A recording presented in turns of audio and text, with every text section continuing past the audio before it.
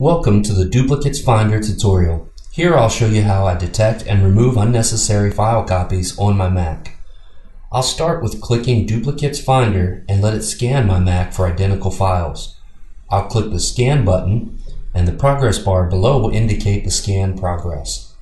But I'd like to search for duplicates in another folder. I believe there are plenty of them in my Photos folder.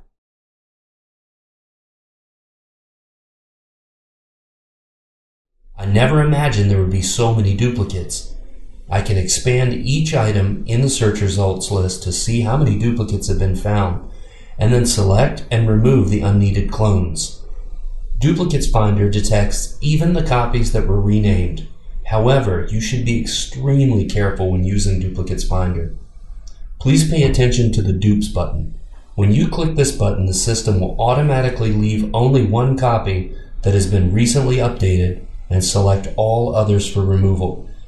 Never use this button to remove duplicates, such as music or photos. Only a human can define which files are original, so I strongly recommend manual selection of the original file.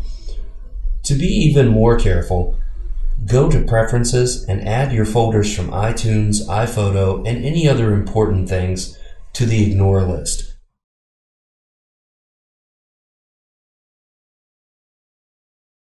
Here you can also change the minimum size of the files to be displayed.